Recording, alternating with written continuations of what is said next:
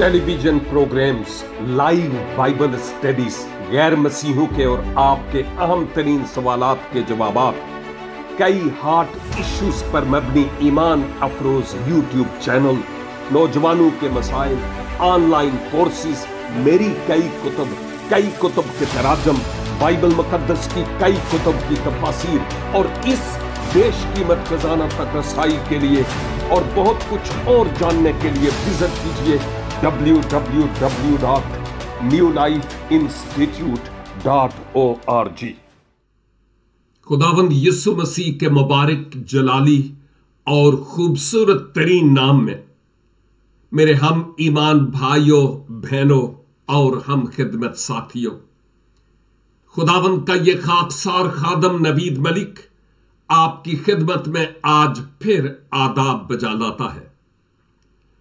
और इस नए साल के आगाज़ में, आपकी खिदमत में, इस साल के लिए ढेरों दुआओं के साथ आपकी खिदमत में मुबारकबाद पेश करता हूँ।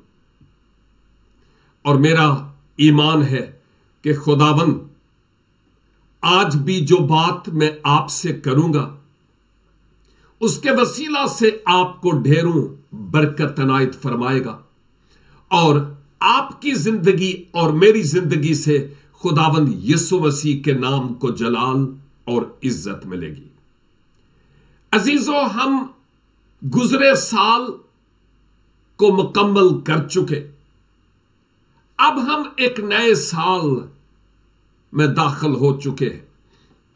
इस गुजरे साल में शायद ऐसे कई तलखो शीरी तजर्बात हमें हुए हों। जो तजर्बात हमारे दिल की तख्ती पर कैनवस पर एक यादगार रकम कर दें। लेकिन मैं आपको बताना चाहता हूँ कि इस नए साल के आगाज़ में घबराइए नहीं, खौफ नहीं खाइए। अगरचे हमारे चौगिर्द मुख्तलिफ़ किस्म के तूफ़ान मंडलाते हैं। आंधियाँ चलती हैं। सैलाब आते हैं। मैं रूहानी तौर पर बात करता हूँ। लेकिन घबराइए नहीं। क्यों? इसलिए कि वो जो इन तूफानों को थमा सकता है, वो हमारे साथ है। मसीह खुदावन ने हमसे कभी यह वादा नहीं किया कि मेरी पैरवी में तुम्हारा जीवन बहुत आसान हो जाएगा। नहीं। आपने फरमाया कि ये दुख और तकालीफ तो तेरी ज़िंदगी में होंगी। सताए जाओगे लान तान होगा। इवन यहाँ तक के मारे भी जाओ। लेकिन याद रखो कि इन तमाम हालात में मैं तुम्हारे साथ हूँ। इवन दुनिया के आखिर तक मैं तुम्हारे साथ हूँ। क्यों खुदावन हमारे साथ हैं? ताकि हमारा ईमान ना डगमगाए। बल्कि हम मसीह के सबब से हौसला पाते हुए आगे बढ़ते चले जाए। इस साल के शुरू में ही खुदावन यसु मसीह को अपने साथ हो लेने के लिए मदऊ कीजिए, ताकि वो हमारे साथ हो चले। इस ताल्लुक से, किताब मुकद्दस से एक रेफरेंस, एक हवाला आपकी हौसला अफजाई के लिए रखना चाहता हूँ। और ये मरकस की मार्फत मुलहम इंजील मुकदस इसका चार बाब है और उसकी पैंतीस आयत से लेकर इकतालीस आयत तक। मैं इन आयात को आहिस्ता आहिस्ता देखता चलूँगा और जो इन आयात से सबक हासिल होगा, मैं खुद भी सीखूँगा और आपकी भी रहनुमाई करूँगा। लेकिन बड़े मुख्तसर तौर पर अगर आप मेरे साथ साथ होंगे अपनी सोच के एतबार से तो यकीनन आप भी बरकत पाएँगे और मैं भी खुदावंद के कलाम के वसीला से बरकत पाऊँगा। यहाँ पर लिखा हुआ है, उसी दिन जब शाम हुई, उसी दिन से मराद मसीह खुदावन ने अपने शागिर्दों को बहुत सारी तमासील के ज़रिया से सिखाया और समझाया। और शागिर्दों ने मसीह के इन असबाक को सीखा और उन्होंने ना सिर्फ़ थ्योरी पढ़ी, बल्कि प्रैक्टिकली भी खुदावन यसु मसीह ने जो किया, उसको देखा, वो उसके चश्मदीद गवाह थे। तो वो दिन जो इंतहाई मसरूफ तरीन दिन था खुदावन यसु मसीह का। दिन गुजर गया, अब शाम हो गई। गुजरा साल गुजर गया, शाम हुई, और अब फिर सुबह हो गई है। और खुदावन मेरी ज़िंदगी में और आपकी ज़िंदगी में कुछ काम करना चाहते हैं, और वो ये है कि गुजरे साल के इख्ताम पर ऐसे तमाम तजर्बात जो माजी में हमें हुए हैं उन्होंने शायद हमारी ज़िंदगी में यूँ कर दिया हो कि शाम हो गई हो। मायूसियों के तारीख बादल हमारे इर्द गिर्द छा गए हों। और हमें मुस्तकबल की कोई उम्मीद नज़र ना आ रही हो। हालात वैसे के वैसे हैं, लेकिन दुनियादारी रखने के लिए और दुनिया वालों को दिखाने के लिए हम अपने चेहरे को हशाश, बशाश रखे हुए हैं। जैसे मेरी ज़िंदगी में कुछ हुआ ही नहीं।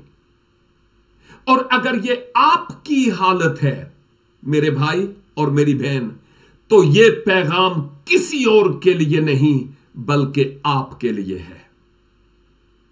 जो दुखों और तकालीफ की शाम है अब वो गुजर चुकी है। अब सुबह हो गई है और खुदावन मुझसे और आपसे कुछ कहना चाहते हैं, लेकिन उससे पहले कुछ सिचुएशन देखिए। तो क्या हुआ? जब शाम हुई तो उसने उनसे कहा, आओ पार चले। यीशु मसीह ने अपने शागिर्दों को यह कहा था, आओ पार चलें। कहाँ पार चलें? इस गलील की झील की दूसरी तरफ़। उधर पार चले।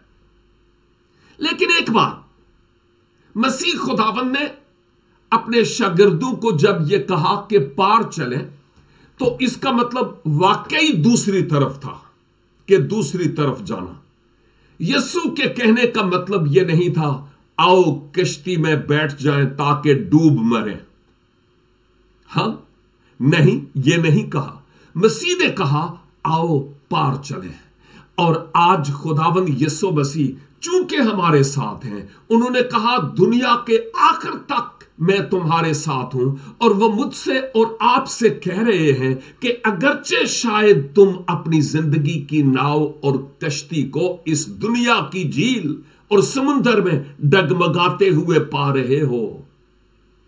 लेकिन मैं तुम्हें कहता हूँ ईमान रखो और आओ, हम पार चले। यस्सु ने यह नहीं कहा कि तुम उस तरफ़ पार चले जाओ। नो यसु मसीह ने अपने शागिर्दों से कहा कि आओ, पार चले। इसका मतलब मैं भी तुम्हारे साथ हूँ। मैं तुमसे अलग या जुदा नहीं हूँ। मैं तुम्हें अकेला नहीं छोड़ूँगा। आओ, पार चले। मैं अपने लफ्जों में कहूँगा। गोया यसु मसीह ने कहा आओ हम पार चले।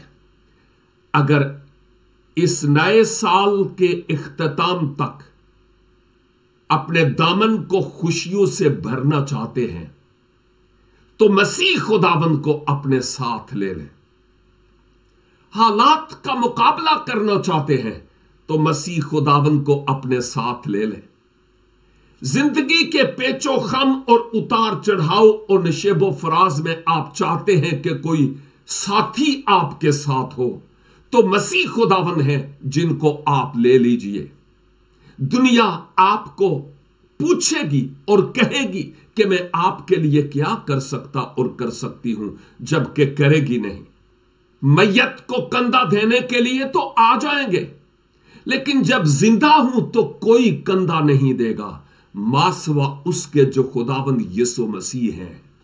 तजर्बे की बातें बता रहा हूँ। और मसीह खुदाबंद वो हैं जो हमारा हाथ पकड़ना और थामना चाहते हैं और इन तूफानों में हमारे साथ रहना चाहते हैं।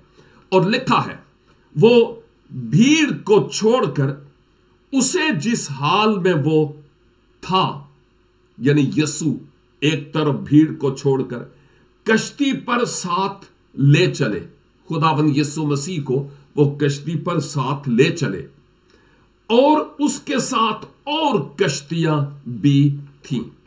एक बात जो यहाँ से मुझे एक और सीखने का इतफाक होता है और वो ये है कि बाज औकात खुदावंद यसु मसीह बाकियों को एक तरफ़ छोड़कर उनको निग्लेक्ट नहीं करते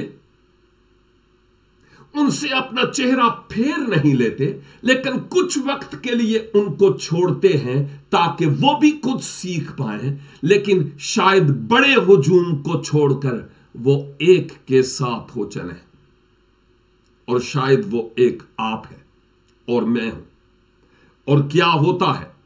वो उस कश्ती पर शागिर्दों के साथ बैठ गए, लेकिन इधर उधर और भी कश्तियाँ इस झील में मौजूद थी।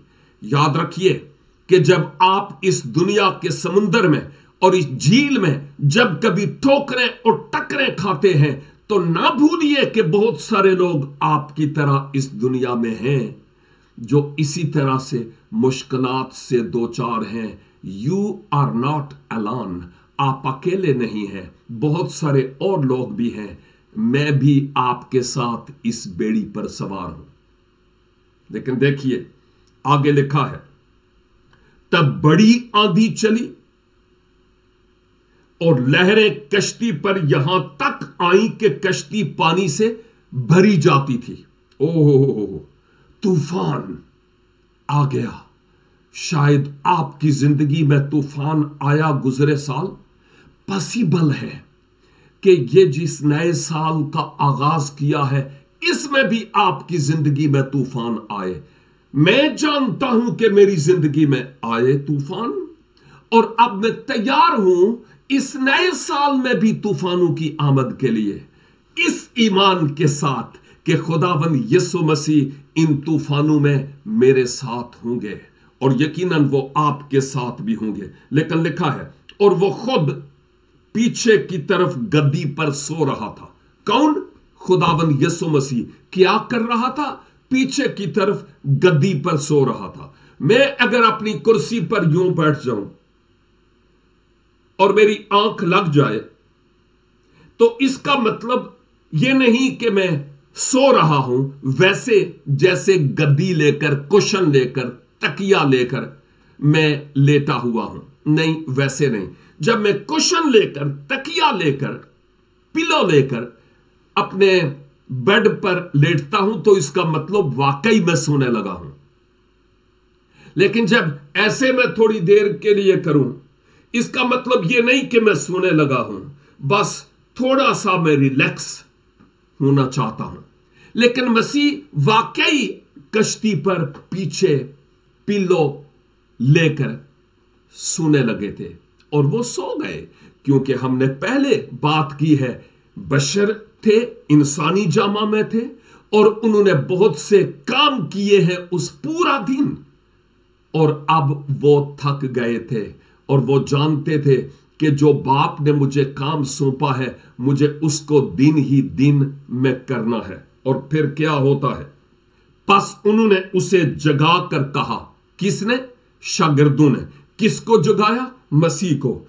ए उस्ताद, क्या तुझे फ़िक्र नहीं कि हम हलाक हुए जाते हैं। मैं सोचता हूँ मसीह खुदावन का पीछे जाकर सो जाना। उसके पीछे मकसद ही यही था कि जब इनकी ज़िंदगी में तूफ़ान आएँगे तो वो क्या करेंगे? क्या करेंगे वो? क्या उनको ये यकीन और ये ईमान होगा कि वो जो तूफानों को रोक सकता है, हमारे साथ है? भले सोया हुआ है, लेकिन हमारे साथ है। इस बात को आप भी अपनी ज़िंदगी में महसूस कीजिए।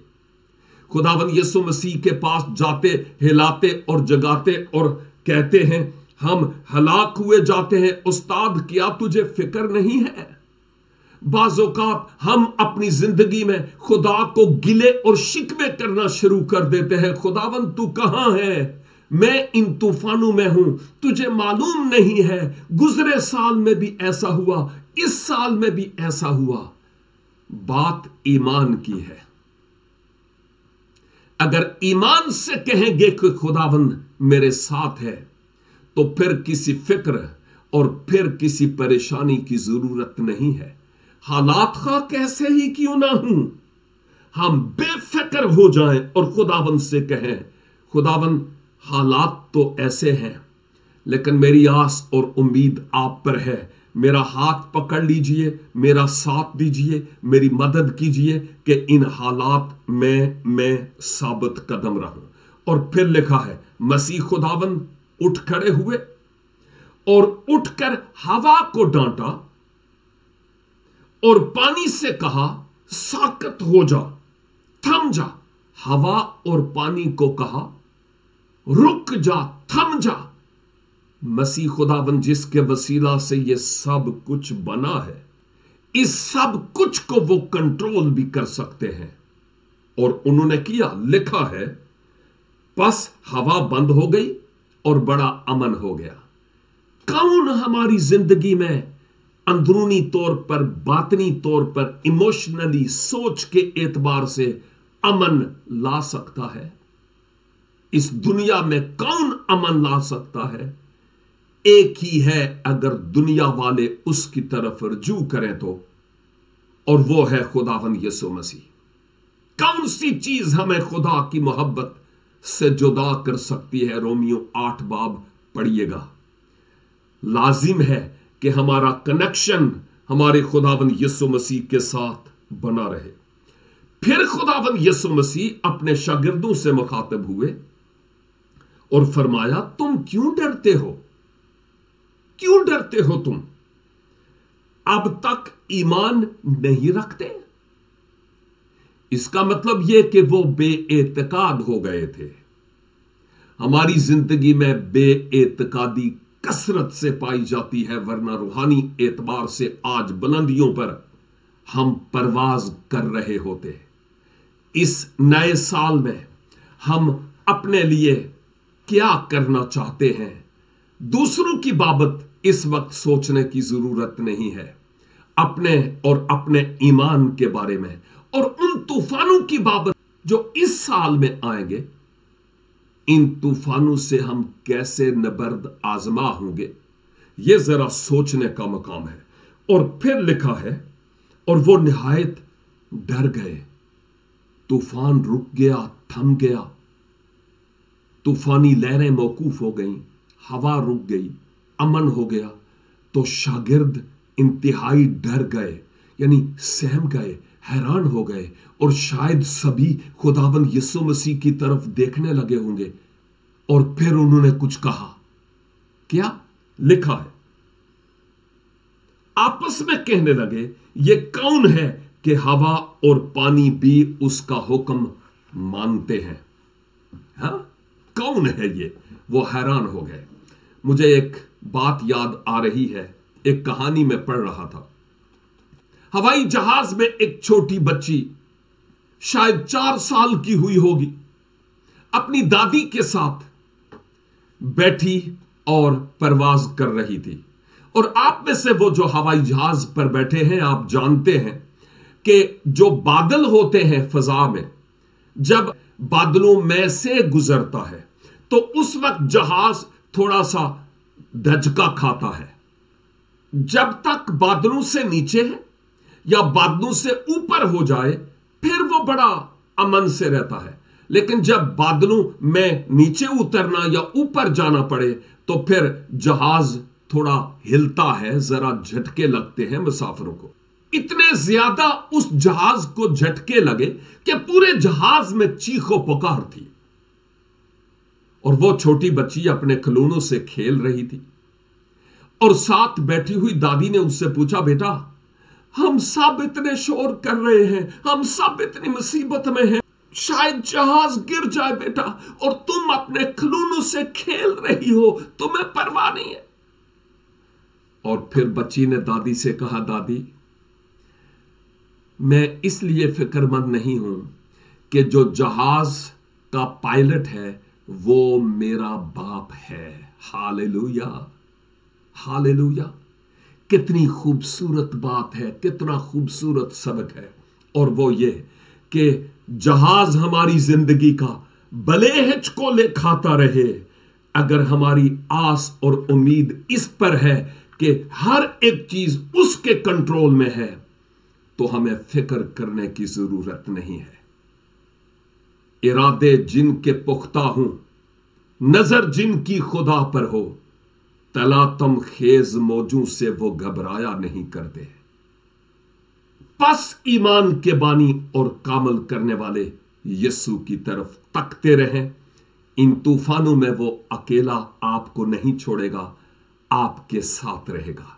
मेरी तरफ़ से और मेरे खानदान की तरफ़ से आपको और आपके खानदान को साले नो मुबारक हो और खुदा करे इन तमाम तूफानों में जो ज़िंदगी में आए, आप साबित कदम रहें और ईमान का दामन कभी ना छोड़ें।